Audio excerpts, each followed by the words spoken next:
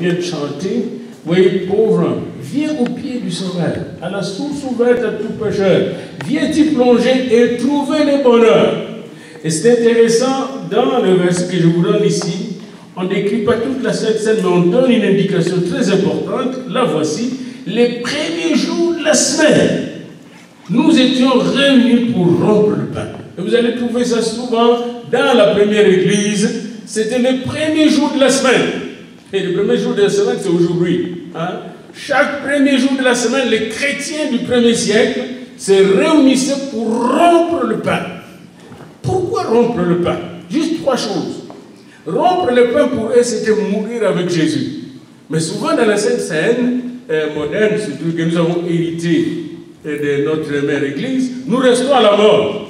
Mais non, rompre le pain, c'est aussi être enterré avec Jésus, enseveli avec lui.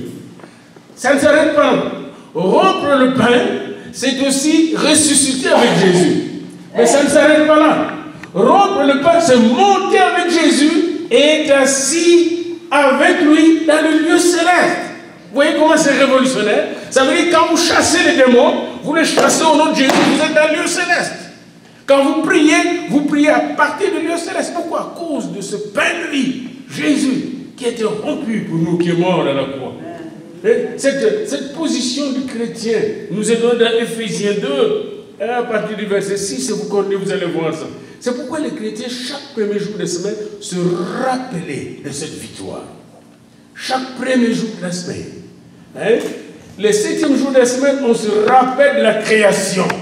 Le premier jour de la semaine, on se rappelle de la récréation de Dieu.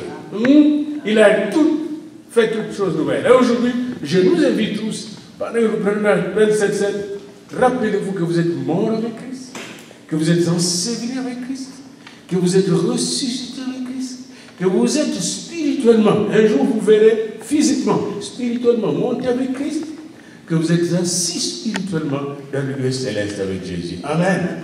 Donc vous avez une position de victoire. Amen. C'est sur cette position de victoire que j'invite Pasteur Michel et Pasteur Monique à venir prier pour les éléments de la scène et à distribuer la scène aux victorieux, aux vainqueurs. Amen. Ceux qui ont vaincu. Alléluia. On commence par le pain et on termine avec la coupe. Bénissez tout simplement la. On commence par le pain. Ô éternel Dieu Tout-Puissant, nous te rendons grâce, Seigneur, pour tout ce que tu as fait, pour ton merveilleux plan du salut, Seigneur. Oui, merci pour tout ce que tu as fait à la croix pour chacun de nous, Seigneur. Merci pour ton corps brisé, Seigneur. Oh, Alléluia. I'm in awe, Lord, this morning. Alléluia. Quand je pense à tous ceux, Seigneur, qui, qui rejettent ce plan merveilleux, Seigneur. Parce que le message de la croix, c'est de la folie pour ceux qui périssent. Mais pour nous qui croyons, Seigneur, c'est la puissance de Dieu. Puissance de Dieu. Oh, quelle merveilleuse puissance. Alléluia. Et quel amour tu as manifesté envers le monde entier, Seigneur, en allant à la croix et en payant le prix, Seigneur Jésus. Payant le prix que nos fautes ont mérité.